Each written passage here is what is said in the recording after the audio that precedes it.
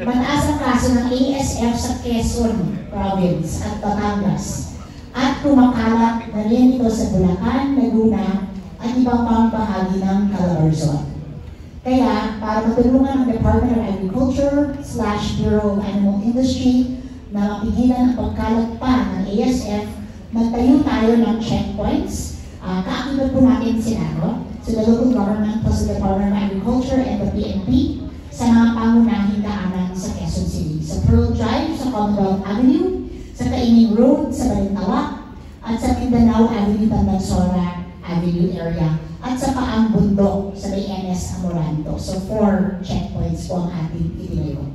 Sa checkpoints, check natin kung meron silang kompletong certificate at permit na magpapatunay na ASF-free ang kanilang mga shipment. I just would like to emphasize, there is no silver bullet. Kaya sapagkat galing ako sa piggery ng 44 years, hindi mo pwedeng, ito ang uh, gagawin natin, mawawala ba ang uh, ASF. Kaya tatlong tatlong bagay ang ginagawa ngayon ng Department of Agriculture sa PAI at saka NMIS.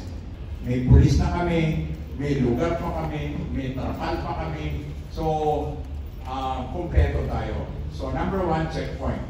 And right now, we have around uh, 12 checkpoints all over. Dito sa NCR, sa Region 3, Region 4A.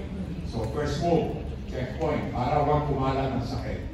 Number two, itinaas ni Secretary Laurel, Chu Laurel, ang indemnification para huwag mag-pass break ang mga may sakit na baboy. Um, at mula 5,000 to 8,000, kapag inahin, 12,000. And third, yung bakuna.